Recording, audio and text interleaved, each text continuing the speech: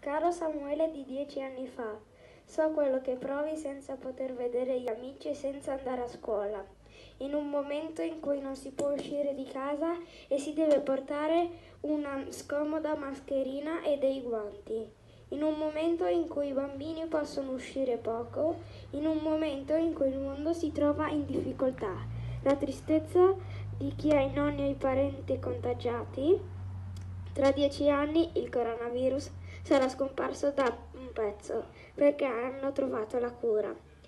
Tutto con il tempo la pazienza è tornata alla normalità, anche se il numero di abitanti nel mondo è diminuito.